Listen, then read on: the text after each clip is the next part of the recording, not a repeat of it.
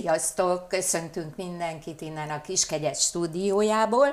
A vendégeimmel együtt, akik nem mások, mint Valsányi Réka és Kucsera Gábor. Sziasztok! Köszi, hogy elfogadtátok a meghívásunkat. Szerintem csapjunk mindjárt bele a közepébe. Lassan egy éve lesz, hogy elindult a nagy kaland, az Ázsia Express, amikor is ugye, ha egy kicsit visszanézünk, minden attól volt, volt éppen hangos, hogy Kucsera Magyarország legszemetebb pasia, aki megcsalta a gyerekei Rékáról meg annyit lehetett tudni, amit Alekosz mondott, hogy négy szeretője közül ő az egyik, így találkoztatok. Ti, mi volt egymásról az első benyomásotok? Réka, mit gondoltál Kucseráról? Na. hogy magas. Igazából ennyi, ennyi volt az elő, ez, ez előzetes volt első benyomás. benyomásom róla. Igen. Nem, nem, nem tudott velünk a Réka egyébként ismerkedni az elején abszolút. Hermetikusan el volt zárva tőlünk. Uh, Alekos erre odafigyelt egyébként eléggé, hogy ne, ne vegyüljön velünk és nagyon nem is tudtunk egyébként Rékával sokszor, sokszor beszélgetni. Igen. Szóval az elején a csapat az már ugye a reptére, meg minden már így összeállt, meg mindenki barátkozott, ők ketten külön külön utakon jártak, de hát ez nem a, nem a Réka, Réka Sőt, az Enikőék ott ültek mellettünk a repülőn, de én amíg le nem szállt a repülőgép, le sem esett, hogy ők egyébként a csapattársak. Ja, nem tudtam. Fedélzetem. Úgyhogy nem, aztán utána nyilván, amikor elindult a játék, eh, akkor, akkor, akkor láttuk meg, láttuk meg azt, hogy hogy Réka milyen nagyszerű, nagyszerű nő, és uh, milyen ügyesen veszi az akadályokat, és hát aztán láttuk, hogy milyen nehéz nehéz sorsa van, nehéz dolga van egyébként. De ott annyira nem biztos, annyira hogy beleláttatok, annyira, sőt, annyira nem szerintem... láttunk ott bele, csak amit mi is félfüllel innen onnan hallottunk, szedtük össze az információkat, nyilván mindenkire, hogy ki hogy teljesít, vagy ki Aha. hogy mit csinál és, és akkor az, ott már azért eléggé így, így láttuk, hogy azért a Réka jéghátán is megállja a helyét, és hát az oroszlán részét egyébként ő, ő, ő csinálja a, a mhm. feladatoknak. Ki kezdett barátkozni? Hát igazából akkor, mert volt egy rész, ugye, amikor visszajöttünk a hajszáról, és akkor ugye, Igen. Ö, ugye az Alekosz felkínálta, hogy, ö, hogy akkor rúgjunk be. ugye, na mindegy. Ássuk el, ugye, ássuk, ássuk el, el a csatabárdot, igen, na akkor, ö, akkor a kucsiék is ugye úgy nyitottak felénk, és ö, így ö, így egy helyszínen voltunk, ugye egy igen, igen, térbe, igen. és akkor, és ott, akkor elkezdtünk ott, ott beszélgetni, de hát igazából akkor is inkább az Ale- Alekosszal beszélgettetek, én meg jelen voltam, és az úgyisten igazából akkor barátkoztunk nagyon össze, amikor ugye közös napunk igen. volt. Szóval, aha, hogy... Aha. Na de az Alekosz szerintem nagyon megbánta azt az estét, hogy összehozott benneteket. Jól látom? hát hogy, hogy összehozott bennünket, hát mindenkit pár cserélt mm. igazából, úgyhogy igazából ő, ő valójában nem is ismert engem meg soha, hogy ő, ő már rögtön ezt feltételezte, és a mai napig ugye ehhez is tartja magát, hogy én, én olyan típusú nő vagyok, aki nem tudom, rámászott volna a kucsira, csak azért, mert lehetőségem van rá, tehát hogy ez... Rád mászott kucsi? De nem mászott rá.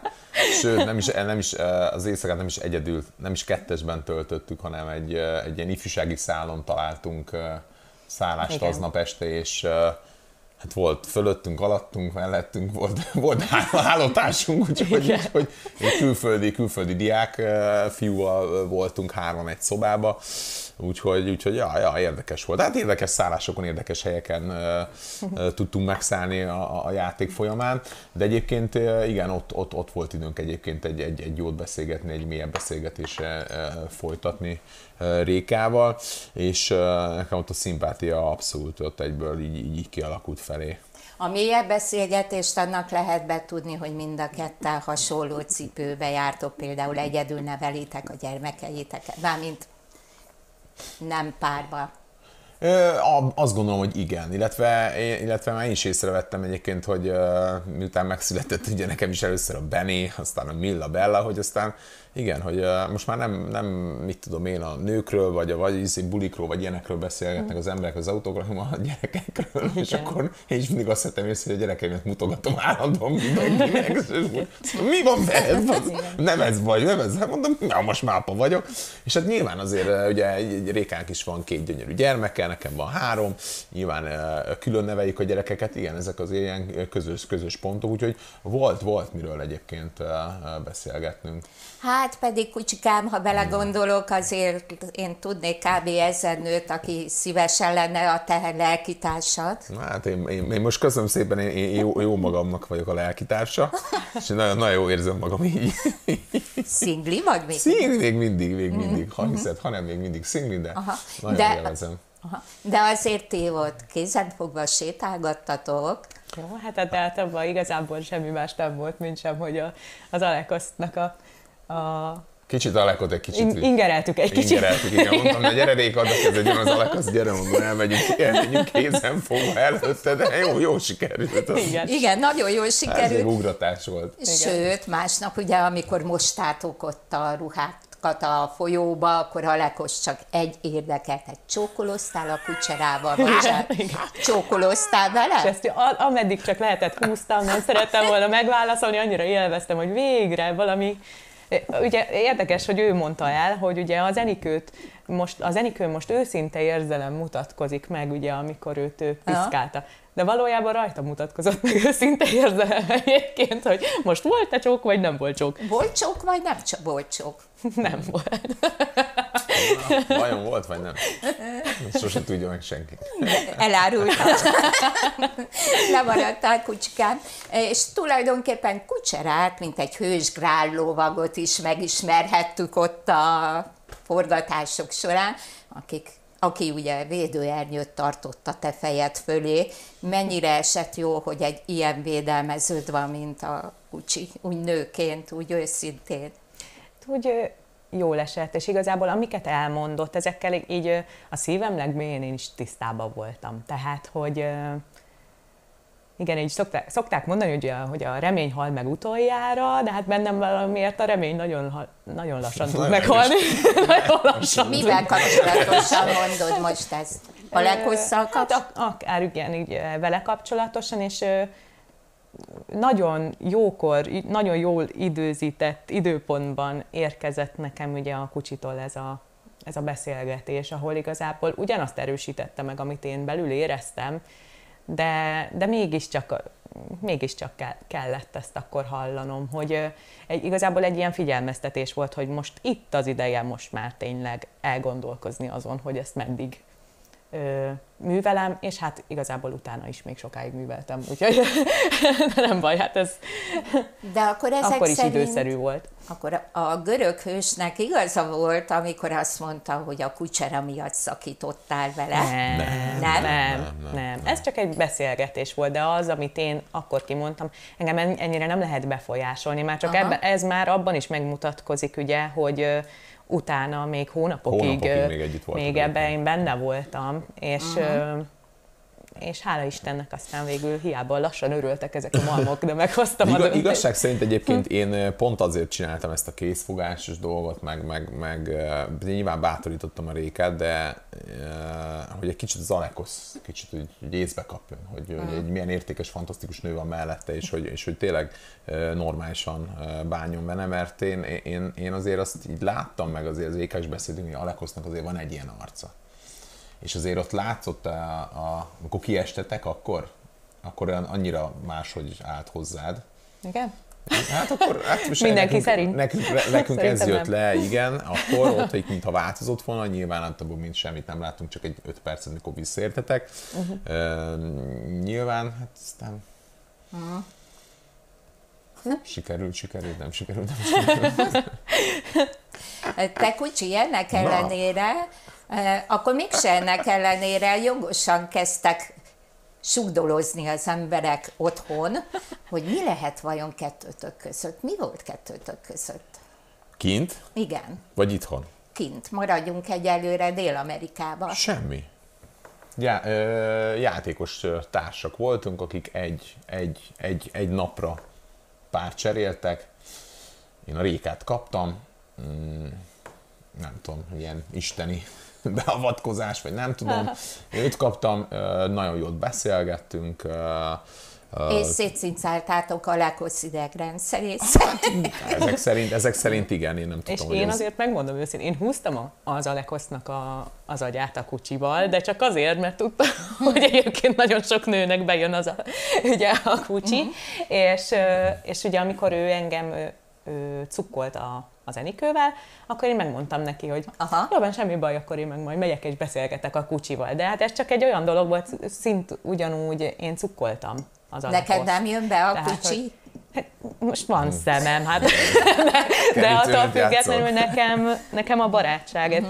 egy, ez a fajta emberi kapcsolat sokkal többet jelent, uh-huh. mint sem, hogy ezt elrontanám egy, egy ilyen jellegű nyitással, vagy uh-huh. akármivel, mert nekem nagyon sokat jelentett, amit akkor adott nekem az a beszélgetés a kucsival, és akármennyire is ugye furcsa élethelyzet az, hogy ugye azt állítom, hogy van barátság férfi és nő között, azok után, hogy az Alekosszal ez abszolút nem működött, de egészen más az, hogyha ezt a barátságot egy tiszteletre alapozzuk, és nem valami teljesen másra. Aha. Ugyanakkor pont Alekosz mondta azt, hogy férfi és nő között barátság csak azután történhet, ha közösen kiléptek a hálószoba ajtaján kucsi. Um, ezt régen egyébként én is így gondoltam. Na. Hogy nincsen, fél, nincsen fiú és lány közötti barátság egyébként, nem létezik.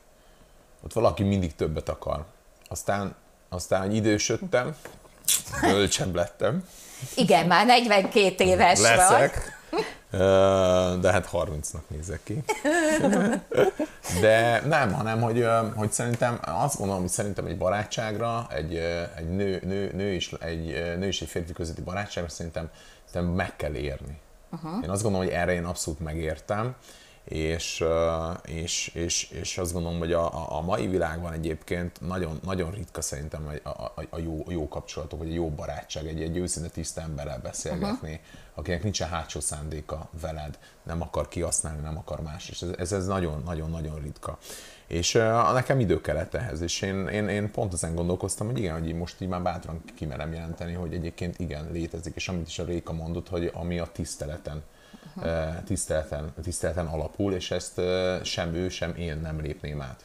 Mert nekem sokkal többet ér, hogy, hogy tudunk beszélgetni, a dolgainkról, ha valakinek rossz napja, meg tudjuk egymással osztani ezeket a dolgokat, és uh, nem is kell mindig segíteni, pont hogy Réka is mondta, hogy mi, mi, mindig meg akarták neki mondani, vagy nem hallgatták meg. Uh-huh. Én egy jó hallgatóság vagyok, nekem bármikor kiöntheti a szívét, de bárki egyébként, uh-huh. szóval hogy én állandóan meg szoktam hallgatni, meg, meg szerintem sokaknak jól esik, igen, hogy, hogy, hogy, hogy van, van kivel, és hogy látszik, hogy odafigyel, mert manapság már ez a jó mondja, de oké, okay, meg közben nyomkodom ezt, uh-huh. nyomkodom azt, és nem figyelek oda, és azt gondolom, hogy nagyon-nagyon ritka egyébként a mai világban már az őszinte kapcsolatok. Meg, uh-huh. meg még azt is hozzátenném, hogy szerintem még az nagyon ritka, hogy, mert hogy van olyan, hogy valaki kényszeredetten mondjuk meghallgat, és gyorsan le akarja zárni a beszélgetést azzal, hogy egy számára jó megoldást odavág, hogy akkor e, így, e, tessék itt a megoldás, megmondtam, akkor így kell megoldanod a lelki, meg minden emberi problémádat, de hogy szintén hiányzik ebben a tisztelet, hogy,